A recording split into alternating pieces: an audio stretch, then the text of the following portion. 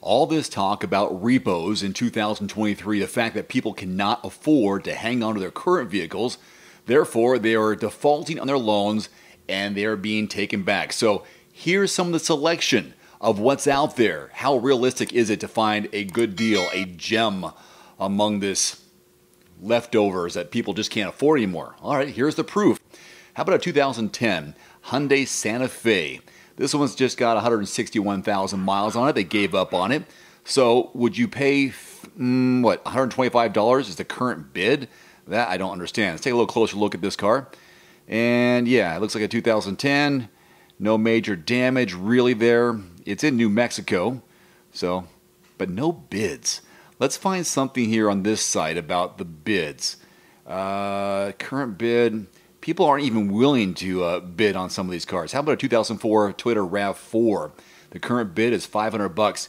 It's got 208,000 miles on it. Does that seem like a good deal to you? Take a closer look at this RAV4. Looks just like the Hyundai Santa Fe, doesn't it?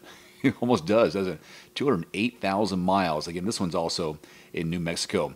If we want for something, let's go for, let's break it down by Silverados. 125 bucks for a 250,000 mile 2005 Silverado 1500. Hey, proof that these do last that long, but the bid is really low. This one's in Texas, is that right? Salvage, Texas. What a great place to have a a repo car in a place called Salvage, Texas. So there's still time on this one, but let's go down a little bit more, see if there's anything worthwhile for bidding. 2010 Silverado 1500, 5.3 liter. It's got 160,000 miles on that one. Current bid's 1525 on the surface. So it's a standard work truck, also in Texas. Let's change our vehicle type. What do you say? Let's go for maybe an F-150. Got 150 of these out and about.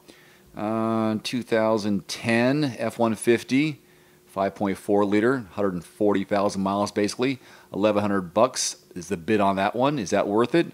The pictures could be better, uh, but can't really tell much from the outside besides the terrible parking lot it's in. wait, document type is salvage Georgia. Let's maybe just called Georgia versus salvage. Yeah. Uh, oh, it's a salvage vehicle. That's a type it is in Georgia. All right, let's bid on. Well, I'm not going to bid on any of these. How about a 1999 Ford F-150, 334,000 miles, and is someone going to pay 675 for it? That's what they've bid. Dang, look at that one. Oh, the location. There's Texas. Maybe I misread that earlier. Alabama is that one. Greenville, South Carolina. I did read. I did misread it. Okay. What else do we have here that we could find? This is the reality. This is what's out there in terms of um, hmm, Toyotas. What's in the Toyota category? We already looked at Toyotas. How about hmm, Corolla, Camry? Can we change our vehicle type? Probably.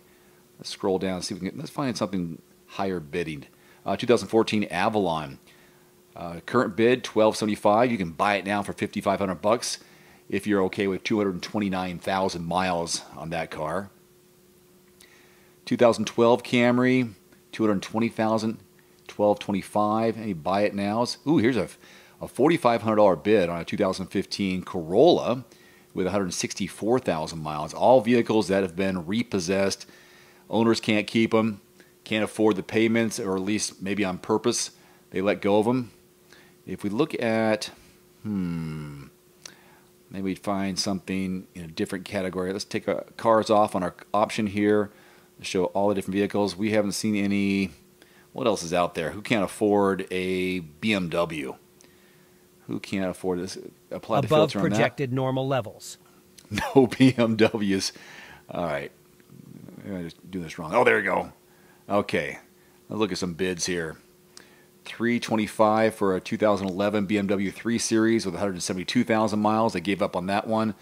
This one, this trunk, does, this uh, hood doesn't look very good on this one. 206,000 miles, basically 207. No bids, no surprise. Oh, must be damaged. That does not look good at all.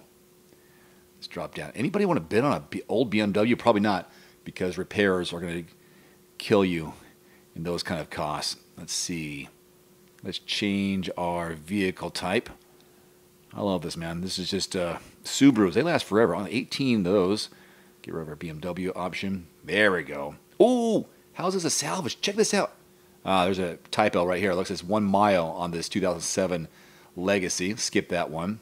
236,000. Well, it's a 2005 Forester. That looks horrible. No, thank you. 2018 Forester looks better with 95,000 miles. Wow. Well, I guess it is uh, five years old, isn't it? Five years. Hmm. Okay, 40,000 miles per year approximately. Is that right? No. Anyways, 95,000 miles over five years, 20,000 miles a year. Okay. In Tennessee, Nashville, no bids on that one. You might want to go for a bid. I'll put a link to this auction site below. Just want to give you an idea of what's being put out there, what uh, are the possible deals you could find. Let's change from Subaru to something else. Honda, 315 of these. Can we change the year? Let's look for an Accord and a CRV. Oops, Odyssey, screw that. How about a CRV? Let's go something a little newer. Anything above 2008? Now apply the filter on that. All right. 2011 CRV, $1,000 bid on that one, 260,000 miles. Maybe the takeaway is these vehicles have been uh, really driven hard, at least mileage wise. This one's been repossessed in Florida, 260,000 miles. Current bids, a thousand bucks. They got 15 hours left on this one. More pictures. No damage to be seen, at least initially. Inside doesn't look horrible. An Accord, a CRV there. Here's an Accord with 220,000 miles on it, 2013. Been around the block, huh? 1,300 bucks. Ooh, look at the damage. Skip that one. No, thank you. Here's an Accord, 2011. Okay, typo, one, one mile. That's not right. Maybe they just got these in. Those don't look good at all. 2008 Honda Accords, 264,000 miles. No bids, no thank you. Hmm. So we hear about it. They're happening. This is just one example of repossessed vehicles. Some are damaged, uh, repairable, salvaged, according to this. Anyways, leave your thoughts below. And if you have other places that are sending out some auctions on repossessions, let me know.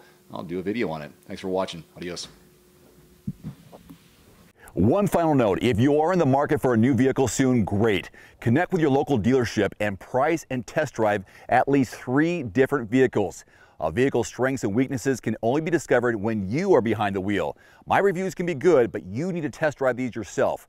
Visit quotes.everymandriver.com, select the make model in your zip code, and you'll get invoice pricing in your area on those vehicles. Shop smarter with price quotes at quotes.everymandriver.com. Thanks for watching. Please click subscribe and give us a thumbs up. See you next time.